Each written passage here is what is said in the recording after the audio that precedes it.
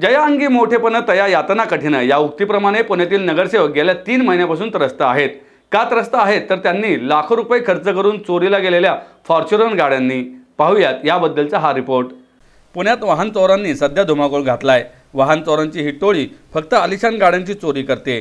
त्यातही फॉर्च्युनर ही या चोरांची विशेष आवडती गाडी आहे. मागील दोन दिवसात तीन फॉर्च्युनर आणि स्कॉर्पिओ गाडीची चोरी झाली. आहे त्यातही या वाहन चोरांनी थेट तीन नगरसेवकांना प्रसाद दिला आहे. पुण्यातील तीन नगरसेवकांच्या फॉर्च्युनर गाड्या वाहन चोरांच्या टोळीने लंपास केल्या आहेत. अवघ्या अठरा मिनिटात तीन लाखांची गाडी चोरी. तुम्ही ते C C T V footage पाहताय हे अठरा मिनिटांचं आहे. या अठरा मिनिटात वाहन चोरांच्या टोळीनं पार्किंगमध्ये उभी असलेली फॉर्च्युनर गाडी या अलगत लंपास केली आहे. बरं हे वाहन चोर ज्या फॉर्च्युनरमधून आलेत ती ही चोरीची आहे. दुसरी गाडी चोरी करण्याआधी अवघ्या काही वेळापूर्वी त्यांनी ही फॉर्च्युनर चोरली आहे. सी सी टी व्ही फुटेजमध्ये जी फॉर्च्युनर चोरी करताना होत दिसते आहे ती नगरसेवक रवींद्र दंगेकर यांच्या जवळच्या नातेवाईकाची आहे आणि दंगेकर यांच्या घरासमोरूनच ती चोरण्यात आली आहे.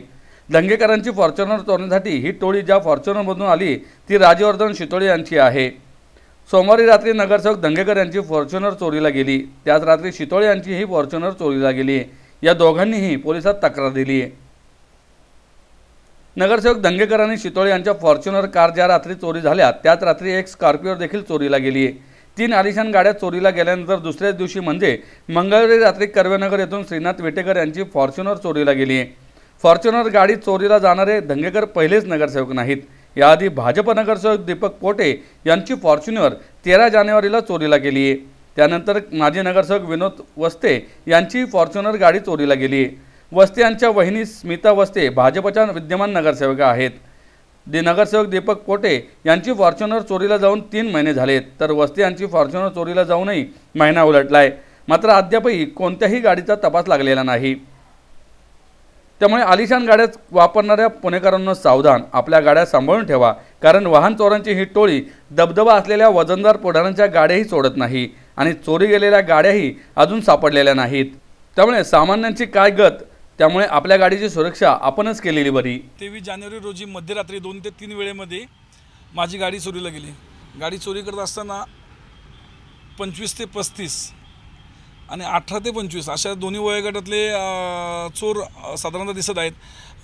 स्विफ्ट डिझायर टू व्हीलरमध्ये येऊन ते प्रॉपर ट्रॅपिंग करून ते गाडी त्यांनी पंधरा ते वीस मिनटामध्ये फॉर्च्युनरसारखी अत्याधुनिक गाडी त्यांनी चोरली.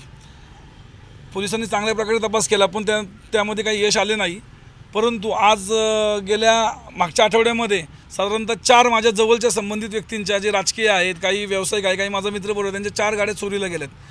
माझी पोलीस प्रशासनाला विनंती आहे की आपण कृपया आपला तपास अजून सखोल केला पाहिजे अजून सिरियस घेतलं पाहिजे कारण का पुण्यामध्ये फॉर हे सगळं त्यांनी प्लॅनिंगनी ते हे करूनच केलेलं आहे.